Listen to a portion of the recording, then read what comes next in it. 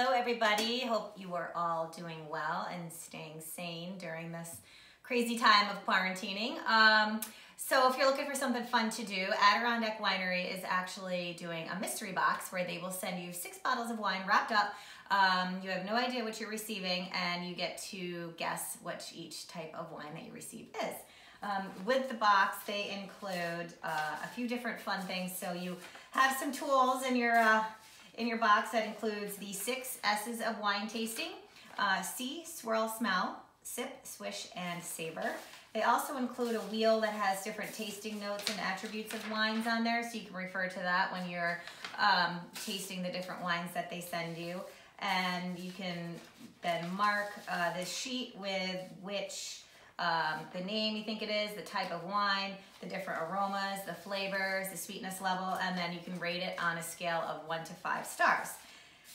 Also included, which is helpful, is a list of their um, the wines that they offer so you can kind of scan this over, decide which ones you think it is, which ones you like, um, and then go from there. So it's kind of fun. So I'm going to start with the first one. Obviously it's white and I'm going to smell I'm gonna say it smells a little oaky, but let's give it a try.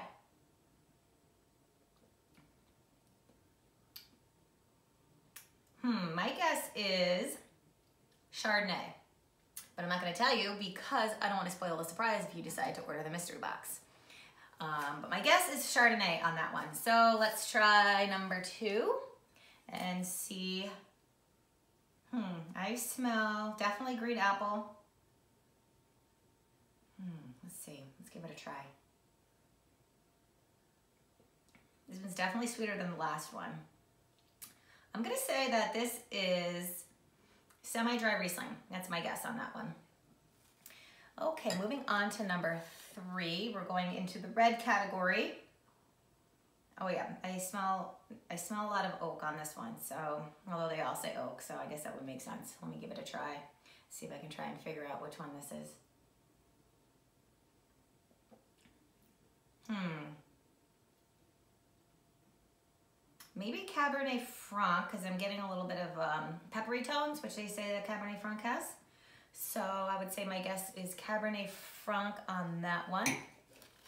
Moving on to number four. Okay, hmm.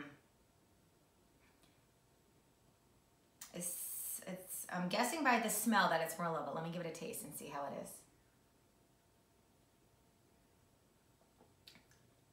Hmm.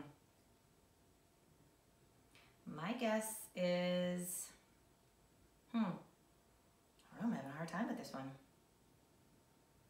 I'm gonna say the Pinot Noir or the Merlot. That's my guess for that. Hmm. It's a tough one. That's good.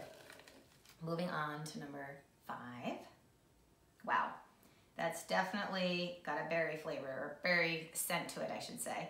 Let's give it a, they've got two fruit, and fruit infused semi-sweet blush. So without even tasting it, my guess is Berry Breeze, but let me give it a try just to confirm. Yeah, I'm gonna say that that is Berry Breeze, which is their mixed berry infused white Merlot. Um, that's definitely more like a dessert sweet wine. And then moving on to number six, uh, let's see. I smell peach right off the bat. Let me give it a swirl, a swirl. Let me give it a, a sip.